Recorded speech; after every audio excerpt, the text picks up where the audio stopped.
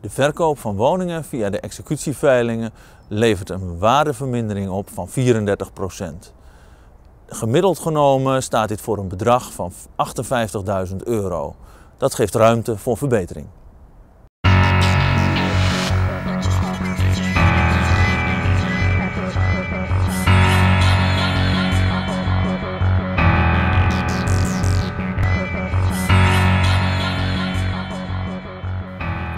Het eh, onderzoek hier gaat over de afloop van gedwongen verkopen op de woningmarkt. We hebben sinds 2006 voor 3440 woningen en, en gezinnen dus de afloop eh, bestudeerd van hun gedwongen verkoop. En dat hebben we gedaan op basis van data van de Nationale Hypotheekgarantie, de NHG. De belangrijkste uitkomsten uit ons onderzoek zijn de lage prijsopbrengsten bij executieveilingen.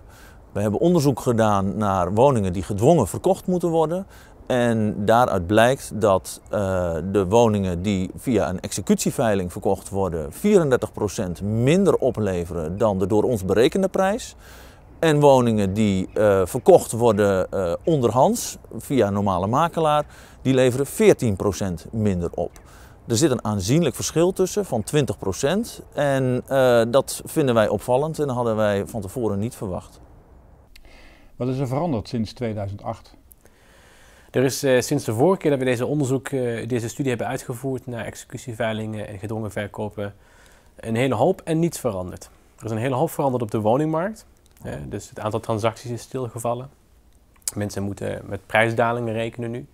En steeds meer mensen zitten in een betalingsachterstand. Ruim 50.000 huishoudens in Nederland. Dus daar is veel veranderd. Maar eigenlijk op het gebied van de executieveilingen is er sinds 2008 nog niet heel erg veel veranderd. Er zijn wel wat verbeteringen doorgevoerd, maar te weinig. En daar uh, gaat onze studie ook naar. We gaan kijken, uh, zijn er al verbeteringen geïmplementeerd? En naar ons idee te weinig. We moeten voorkomen dat woningen via een executieveiling worden verkocht. Want dat is niet gunstig voor consumenten, niet voor de bank en ook niet voor de wijk. We hebben voorbeelden bijvoorbeeld in Rotterdam-Zuid, waar regelmatig woningen verkocht worden via een veiling. En dat heeft niet alleen een nadelig effect voor uh, die verkoop, maar ook de woningen in de omgeving die te koop staan leveren daardoor minder op. Dat moeten we eigenlijk niet willen met elkaar. Uh, bovendien zou het beter zijn als woningen wat meer tijd genomen wordt om uh, die woningen te verkopen via een onderhandse veiling. Daar is ook ruimte voor.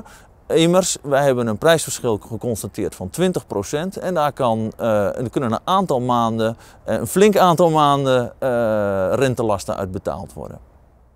De aanbeveling uit onze studie geeft eigenlijk aan dat we zien dat de prijsopbrengst bij de veiling erg laag is dat we in ieder geval moeten proberen het executieveilingkanaal uh, beter te laten functioneren.